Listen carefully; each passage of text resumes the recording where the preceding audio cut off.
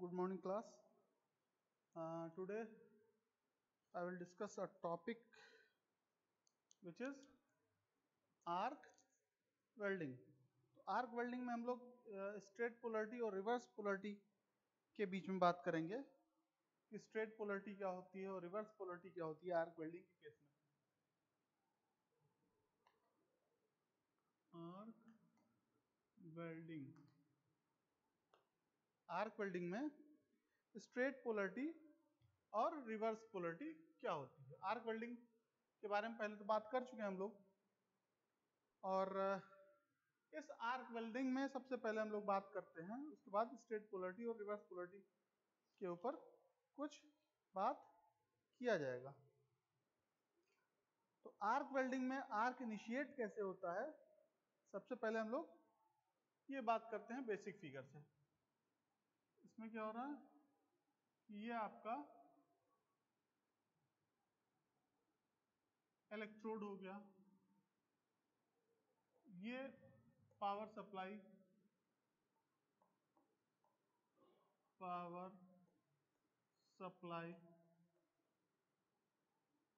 ये power supply आपका AC power supply भी हो सकता है और डीसी पावर सप्लाई भी हो सकता है। ये वर्क पीस है। वर्क पीस है। ये आपका इलेक्ट्रोड है।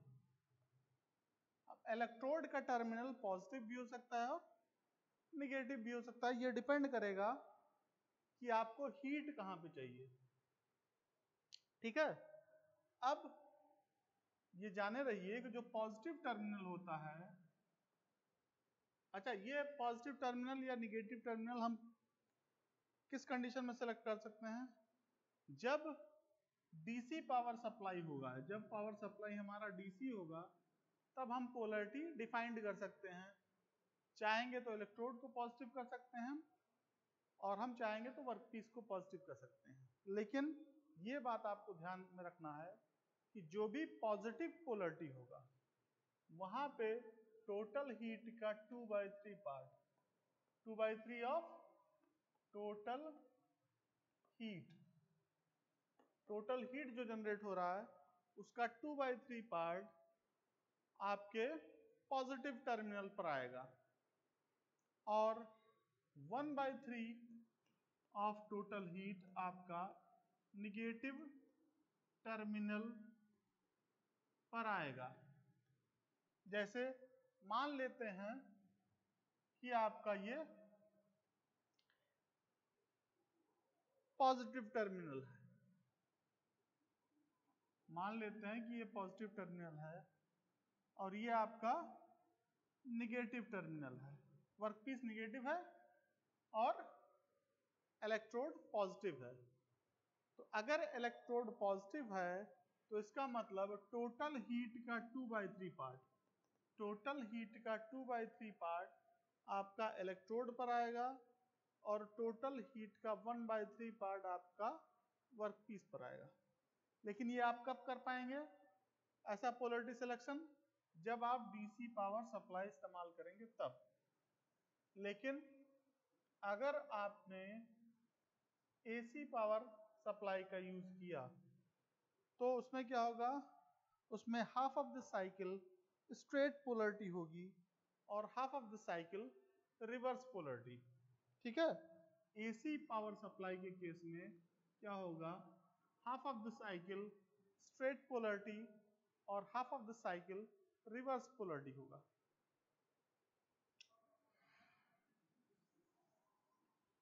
ठीक है?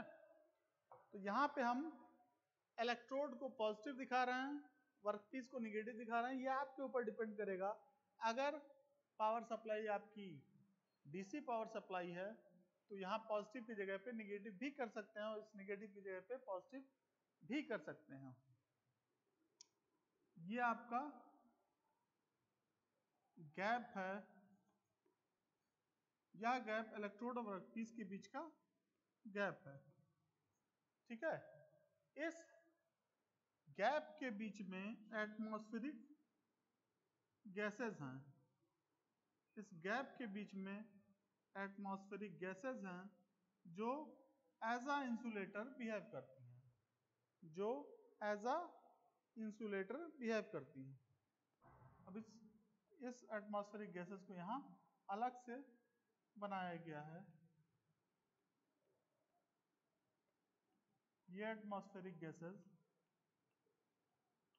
as a insulator work करती हैं।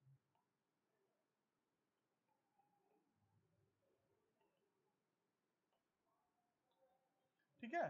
तो ये एटमॉस्फेरिक गैसेस शुरू में इंसुलेटर की तरीके से बिहेव करती हैं। लेकिन जैसे ही सब हम इस इलेक्ट्रोड को वर्कपीस के कांटेक्ट में लाते हैं तो उससे क्या होता है? शॉर्ट सर्किट होता है।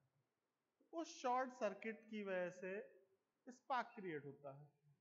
उस स्पार्क की वजह से यहाँ जो आसपास की गैसेस हैं, जो अभी फ़िलहाल एज ए इंसुलेटर बिहेव कर रही हैं, वो कंडक्टर की तरीके से बिहेव कर रहे हैं। क्यों?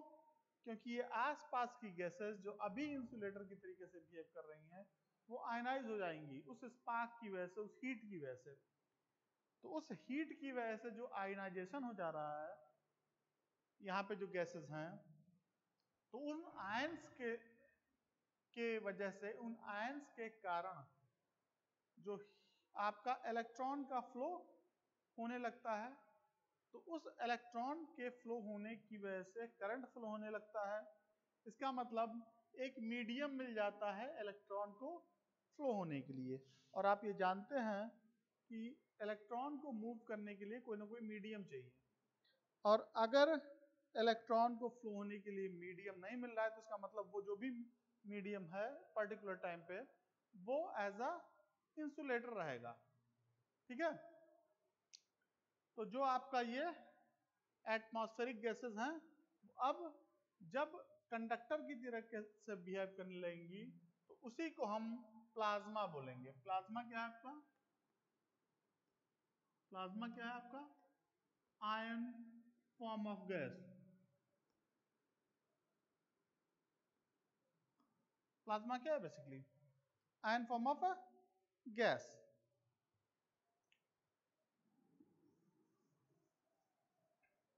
ठीक है?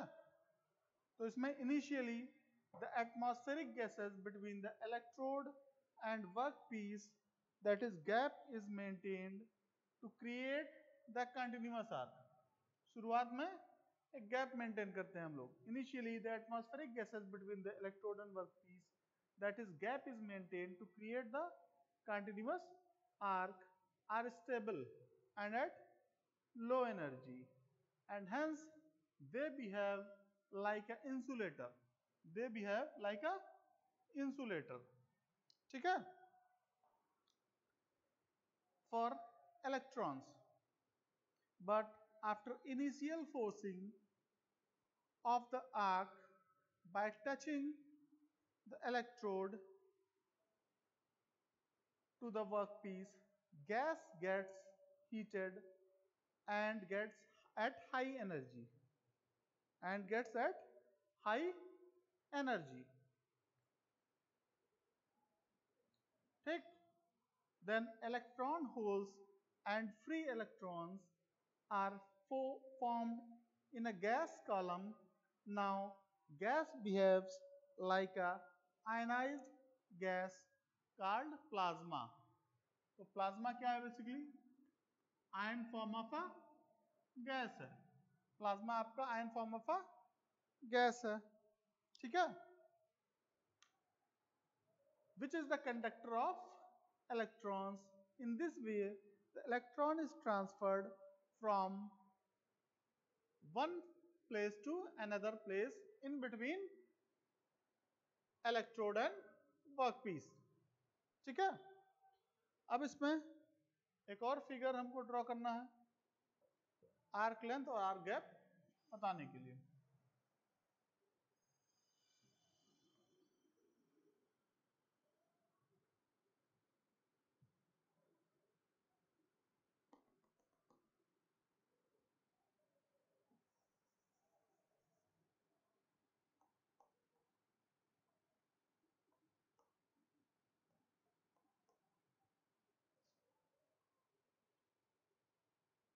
ठीक है?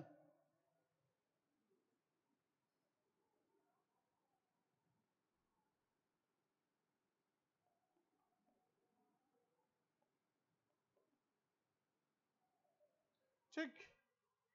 आर्क लेंथ और आर्क गैप।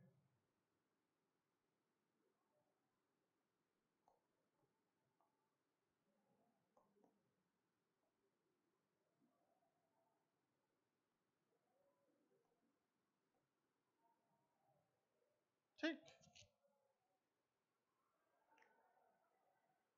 तो इसमें बेसिकली आर्क लेंथ क्या होता है? अगर डी इलेक्ट्रोड का डाया है तो आर्क लेंथ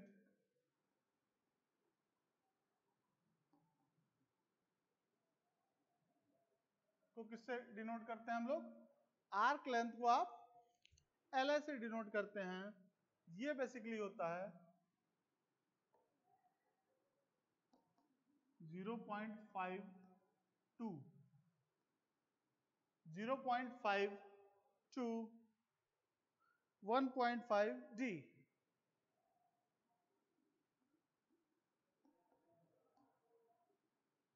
ठीक है 0.5 to 1.5 D where D is the diameter of electrode where D is the diameter of electrode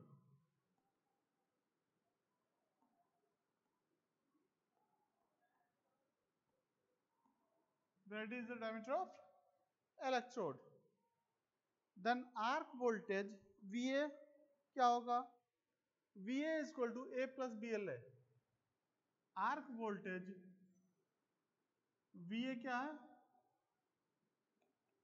A plus B LA और VA बेसिकली क्या है आर्क वोल्टेज ठीक है और ए और बी क्या है आपका? ए और बी है आपका कांस्टेंट है। ये आपका कांस्टेंट है। एल ए आपका आर्क लेंथ है। एल ए आर्क लेंथ है बी ए आर्क वोल्टेज है ए और बी आपका कांस्टेंट है। ठीक है? एल ए आपका कैसे निकला?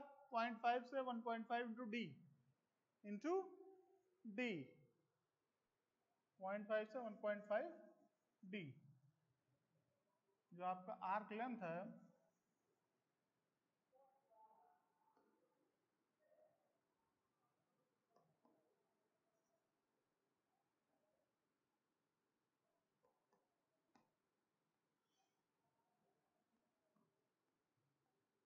five to D 0.5 to 1.5 D. That is arc length where D is the diameter of electrode. Where D is the diameter of electrode. Check. Next, polarity is not fixed in AC welding. ठीक है ये चीजें हैं इसको मिटा देते हैं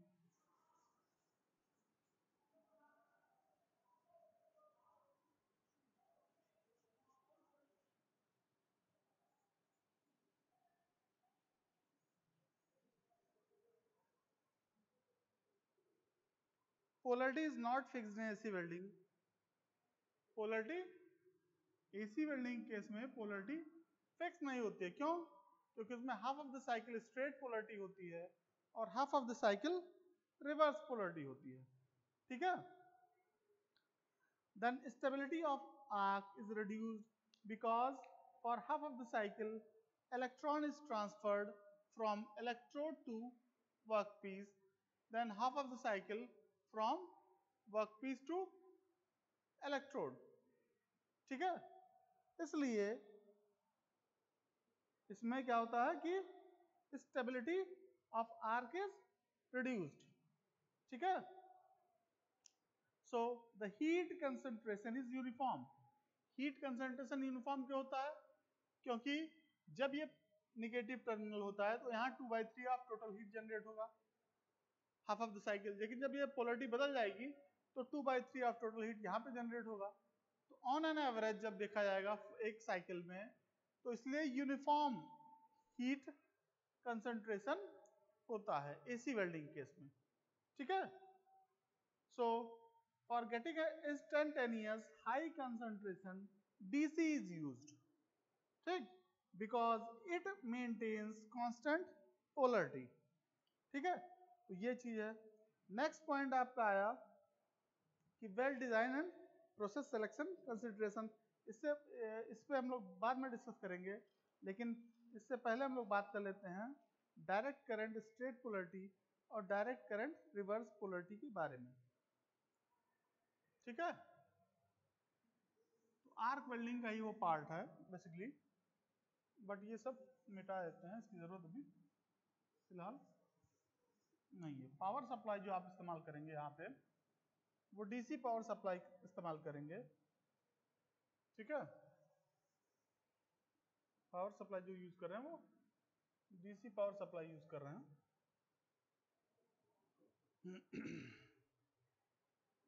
इसको पहले हम निगेटिव टर्मिनल बना रहे हैं। ये पावर सप्लाई जो आपका डीसी पावर सप्लाई ठीक है? इलेक्ट्रॉन का जो फ्लो है, ये पॉजिटिव टर्मिनल पे है। इलेक्ट्रॉन का फ्लो इधर दिखाया गया है डाउनवर्ड डायरेक्शन में, ठीक है? दो नहीं बना के, एक ही बनाएँगे, ठीक है?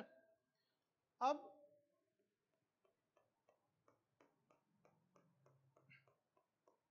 ठीक अब one by three of total heat आपका इलेक्ट्रोड पे जनरेट हो रहा है और two by three of total heat generate हो रहा है आपका वर्कपीस पे। क्यों? क्योंकि पॉजिटिव टर्मिनल पे बताया गया था कि टोटल हीट का two by three part heat generate हो रहा है। ऐसा क्यों हो रहा था? ऐसा इसलिए हो रहा है क्योंकि इलेक्ट्रॉन हाई वेलोसिटी से जाके स्ट्राइक करेगा इस पॉजिटिव टर्मिनल पे। सबसे पहले शॉर्ट सर्किट हुआ शॉर्ट सर्किट की वजह से आसपास की गैसेज आयनाइज हो गई, लेकिन आयन का जो एक्सिलरेशन होगा वो कम होगा विद रिस्पेक्ट टू इलेक्ट्रॉन क्यों? क्योंकि आयन वेटेड होगा और उसका एक्सिलरेशन आपका कम होगा, इसलिए आयन जो यहाँ से मूव पॉजिटिव आयन जो यहाँ से मूव करके इस पर स्ट्राइक करने वाला होगा, वो उतनी वेलोसिटी से नहीं जाके स्ट्राइक कर पाएगा। जितनी वेलोसिटी से आपका इलेक्ट्रॉन इस पे, इससे इलेक्ट्रोड से आके इस वर्कपीस पे स्ट्राइक करेगा। इसलिए इलेक्ट्रॉन का इंपैक्ट उसकी काइनेटिक एनर्जी ज़्यादा होती है with respect to that positive ions तो इस केस में आपको ये देखने को मिला कि जो पॉजिटिव टर्मिनल है, इलेक्ट्रॉन यहाँ से निकलेगा निगेटिव टर्मिनल से और आके स्ट्राइक करेगा इस वर्कपीस के ऊपर। तो जो हीट जनरेट होगा, वो ज़्यादा हीट जनरेट होगा इस वर्कपीस के ऊपर। ठीक है? तो टोटल हीट का टू बाई थ्री पार्ट इस वर्कपीस पे जनरेट हो रहा है और टोटल हीट का वन बाई थ्री पार्ट आपका इस इलेक्ट्रोड के ऊपर हो रहा है। ठीक है? तो डायरेक्ट करंट स्ट्रेट पोलरिटी या डायरेक्ट करंट इसको क्या बोलेंगे? Direct current electrode negative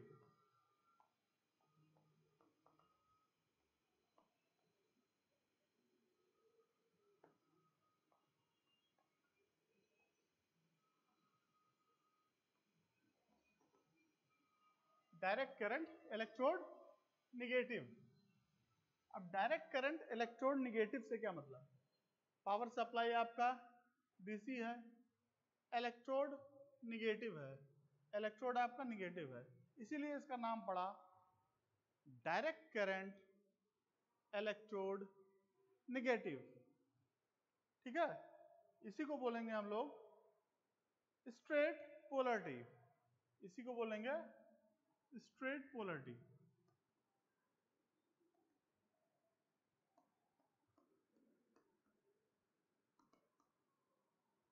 इसी को बोलेंगे स्ट्रेट पोलरिटी ठीक है?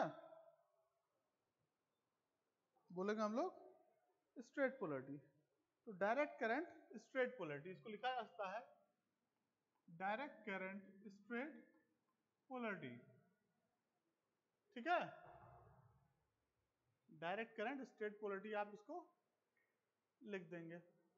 ठीक? डायरेक्ट करंट स्टेट पोलरिटी कब कह रहे हैं? जब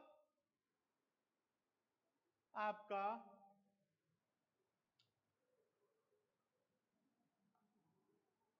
इलेक्ट्रोड निगेटिव होगा। इलेक्ट्रोड आपका निगेटिव है तो इसको बोलेंगे डायरेक्ट करंट इलेक्ट्रोड निगेटिव इसी का दूसरा नाम है डायरेक्ट करंट, स्ट्रेट पोलरिटी। ठीक है? इसमें डेप्थ ऑफ़ पेनिट्रेशन ज़्यादा होगा। डेप्थ ऑफ़ पेनिट्रेशन आपका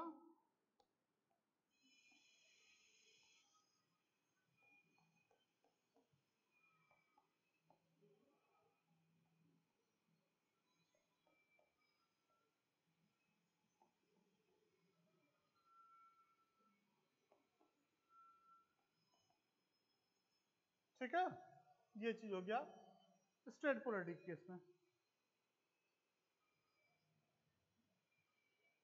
इसको कह सकते हैं डायरेक्ट करंट स्ट्रेट पोलरिटी या डायरेक्ट करंट इलेक्ट्रोड निगेटिव। और डायरेक्ट करंट स्ट्रेट पोलरिटी। ठीक है? ये भी कहा सकता है अब रिवर्स पोलरिटी क्या होगा? इसको पलट दीजिए। ये जो निगेटिव टर्मिनल है, इसको अगर आप पॉजिटिव कर दीजिए।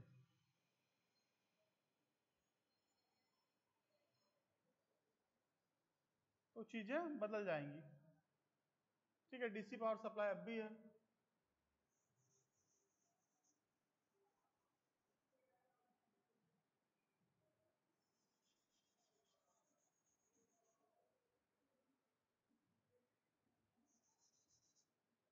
Direct current electrode positive direct current reverse polarity direct current reverse polarity अब बना रहे हैं हम। पोलरिटी हमने बदल दिया।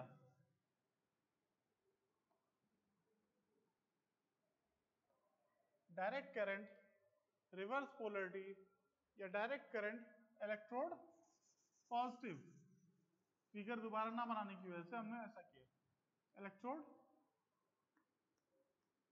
positive direct current electrode positive direct current electrode positive direct current reverse polarity इसी को कहा जा गया है। ठीक है? इसका नाम है। इलेक्ट्रॉन का फ्लो आपका बदल जाएगा।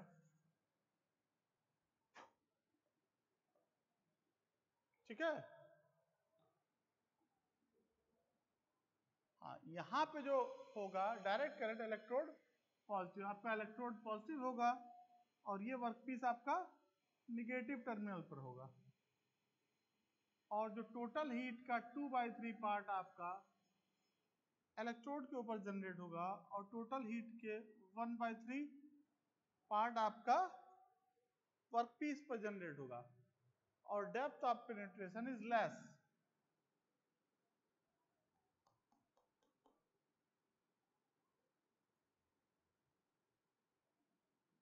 ये small depth of penetration small depth of penetration या लेस डेप्थ ऑफ़ पेनिट्रेशन ठीक है?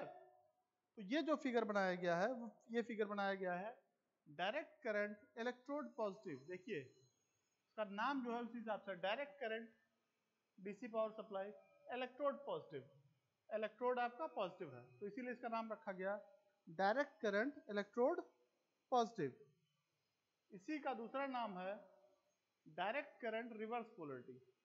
Direct current reverse polarity. अब इलेक्ट्रोड ये है, हमने कहा था जो पॉजिटिव टर्मिनल होता है, उस पर टोटल हीट का टू बाई थ्री जनरेट होता है। तो टोटल हीट मान लें वन है तो उसका टू बाई थ्री पार्ट यहाँ पे दिखाया गया है पॉजिटिव टर्मिनल पे। One by three of total heat work piece के ऊपर दिखाया गया है। डीसी पावर सप्लाई है। डेप्थ ऑफ़ पेनिट्रेशन आपका स्मॉल। है ठीक है? अब इनके सबके प्रॉपर्टीज़ के ऊपर बात कर लेते हैं। प्रॉपर्टीज़ मतलब क्या क्या क्वालिटीज हैं, कब हम स्ट्रेट पोलरिटी का यूज़ करेंगे, कब रिवर्स पोलरिटी का यूज़ करेंगे, इस पर बात किया जाएगा। ठीक है? मिटा देते हैं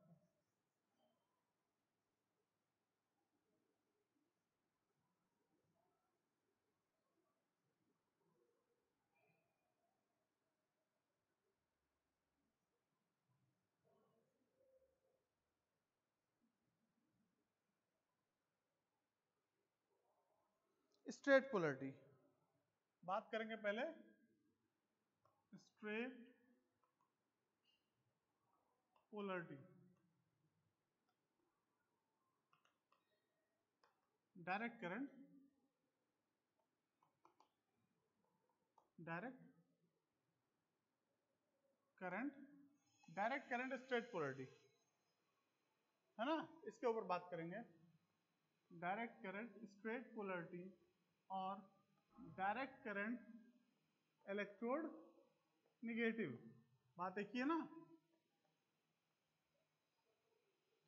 डायरेक्ट करंट स्ट्रेट पोलरिटी या डायरेक्ट करंट इलेक्ट्रोड निगेटिव बात एक ही है, इसी पे हम लोग बात करेंगे।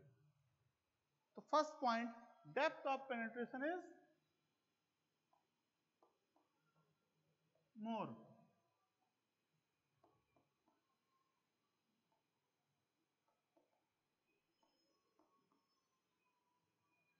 आपने फिगर में देखा था कि डेप्थ ऑफ़ पेनिट्रेशन ज़्यादा था। Used for thick and high melting point materials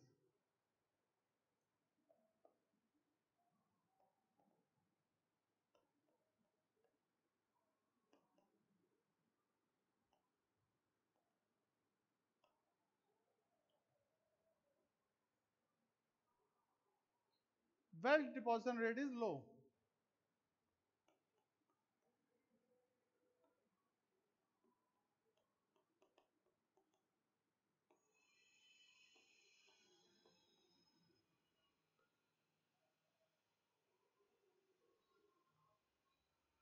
Weld deposition rate low क्यों होगा क्योंकि इलेक्ट्रोड से कम मटेरियल निकलेगा पिघल के तो वो डिपॉजिट कम होगा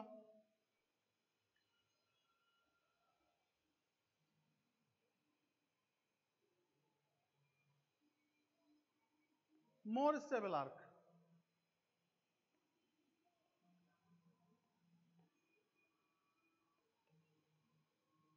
आग क्यों ज़्यादा स्टेबल होगा डीसी पावर सप्लाई इस्तेमाल कर रहे हैं?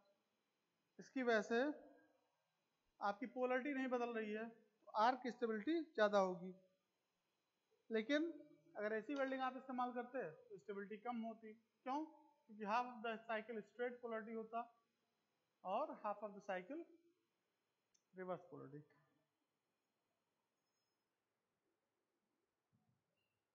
ये हो गया डायरेक्ट करंट स्ट्रेट पोलरिटी के बारे में।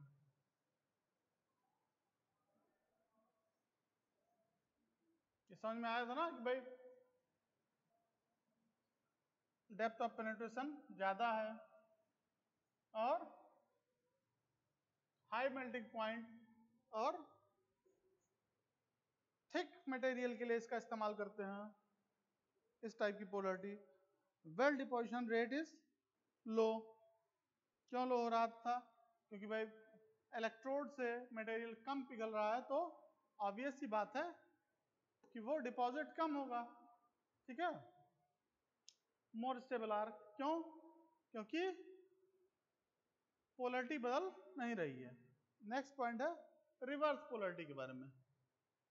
नेक्स्ट है direct current reverse polarity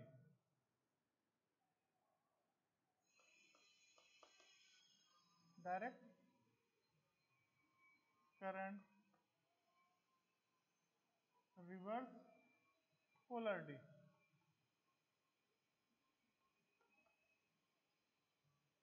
direct current reverse polarity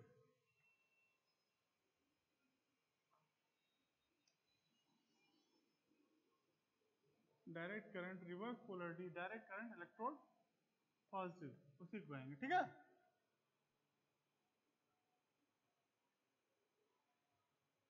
तो इसमें क्या है? First point the DC power supply इस्तेमाल करते हैं। इसमें भी आर की स्टेबिलिटी ज़्यादा होगी, ठीक है? रिवर्स पोलरिटी केस में क्या है? Depth of penetration less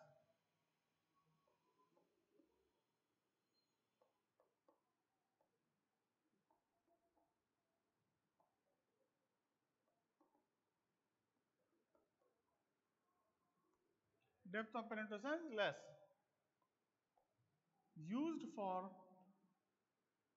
thin material and low melting point materials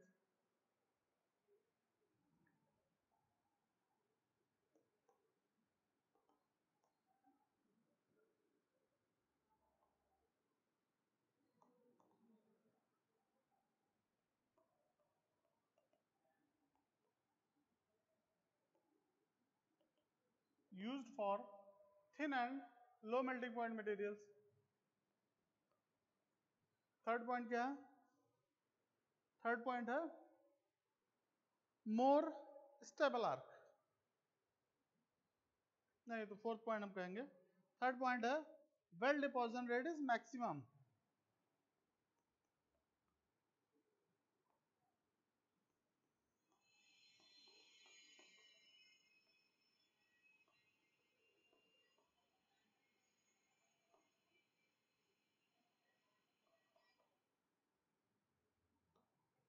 well, deposition rate is maximum. Weld deposition rate क्यों ज़्यादा है? क्यों? क्योंकि इलेक्ट्रोड आपका पिघल रहा है और वो two by three of total heat जो है, वो इलेक्ट्रोड के ऊपर हो रहा है क्योंकि इलेक्ट्रोड पॉजिटिव है तो इसलिए वेल्ट ज़्यादा डिपॉजिट होगा। नेक्स्ट पॉइंट मोर स्टेबल तो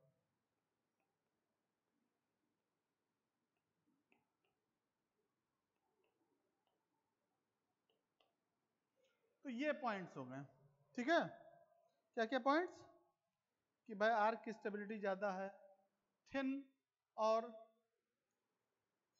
लो मेल्टिंग पॉइंट मटेरियल के लिए इसका इस्तेमाल करते हैं हम लोग। और आपका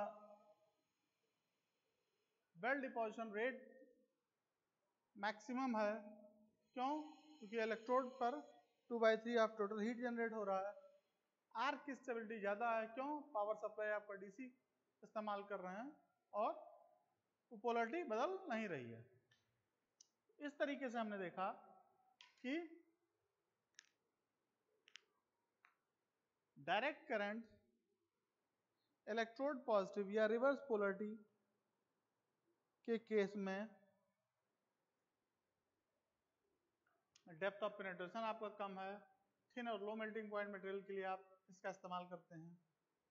डिपोजिशन रेट आपका ज़्यादा है और स्टेबल आर्क ज़्यादा है। तो इसका मतलब डीसी पावर सप्लाई अगर हम इस्तेमाल करते हैं तो हमको कंट्रोल अच्छा मिलेगा। कहने का मतलब यह है कि हम डिफाइंड कर पाएँगे कि हम थिनर वर्कपीस के लिए अगर वेल्डिंग करने जा रहे हैं तो किस तरीके की पोलरिटी सेलेक्ट करें? थिकर वर्कपीस की वेल्डिंग करने जा रहे हैं तो किस टाइप का पोलरिटी सेलेक्ट करें? हाई मेल्टिंग पॉइंट वाला मटेरियल है तो किस तरीके की पोलरिटी सेलेक्ट करें?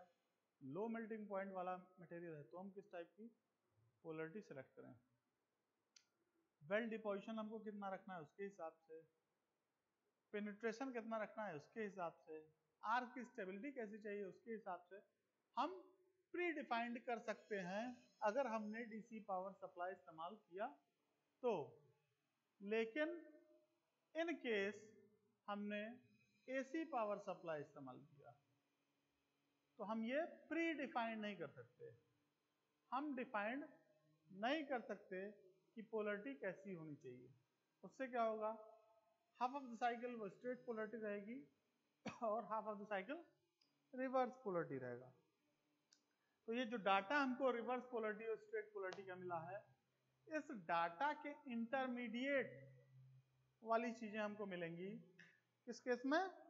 अगर आप एसी वेल्डिंग इस्तेमाल करते हैं तो। ठीक है? हम्म तो मिटाएँ इसको। और फिर हमारा आएगा एसी सप्लाई एसी वेल्डिंग अगर आप यूज़ करते हैं तो।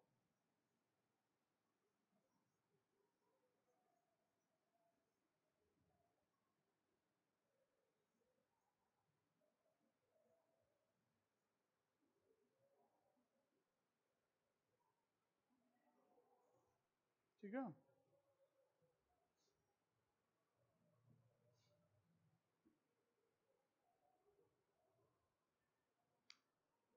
AC welding.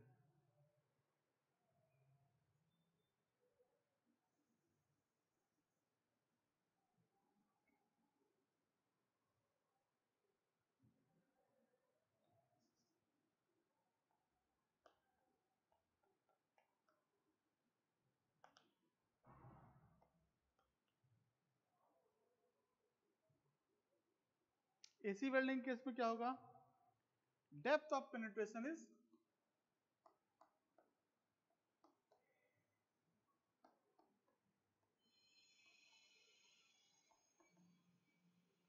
is medium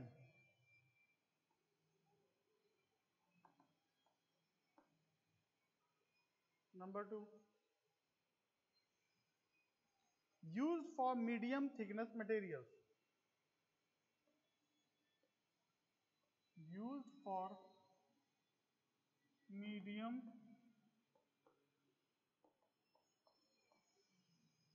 thickness material used for med medium thickness materials. Number 3 used for medium melting point materials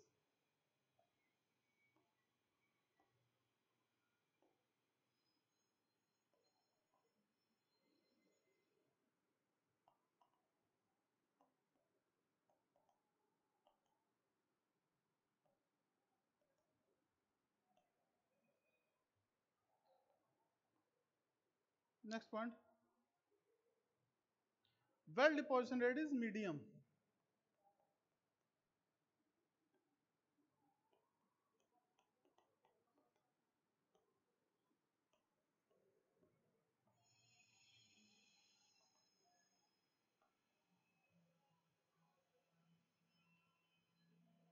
Next point. Less stable arc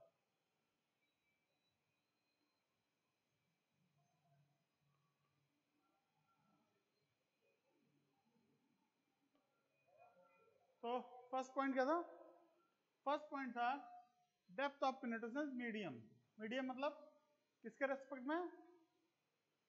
direct current straight polarity और direct current reverse polarity के respect में medium है। मतलब उन दोनों के intermediate में। Use for medium thickness material का मतलब डायरेक्ट करंट स्ट्रेट पोलरिटी और डायरेक्ट करंट रिवर्स पोलरिटी के बीच की बात ये कही जा रहा कही जा रही है थिकनेस में। Use for medium melting point material ठीक है? उन दोनों के रेस्पेक्ट में बात किया जा रहा है। स्ट्रेट पोलरिटी और रिवर्स पोलरिटी डायरेक्ट करंट की। उसके रेस्पेक्ट में एसी वेल्डिंग को कंपेयर किया गया है, ठीक है? मतलब use for medium medium melting point material मतलब straight polar direct current straight polarity में जो मेल्टिंग पॉइंट है और डायरेक्ट करंट रिवर्स पोलरिटी में जो मेल्टिंग पॉइंट है, उनके इंटरमीडिएट की बात की जा रही है। ठीक है? Well deposition rate is medium ये बात किया जा रहा है कि डिपोज वेल डिपोजिशन रेट जो है, आपका स्ट्रेट पोलरिटी और रिवर्स पोलरिटी के बीच में बात की जा रही है कि उनके इंटरमीडिएट पोजीशन की बात की जा रही है। लेस स्टेबल आर्क आर्क की स्टेबिलिटी कम होगी इसमें। ठीक है? क्यों आर्क की स्टेबिलिटी कम होगी? क्योंकि half of the cycle straight polarity होगा और half of the cycle reverse polarity होगा। ठीक है? इस तरीके से हम ये देख रहे हैं कि भाई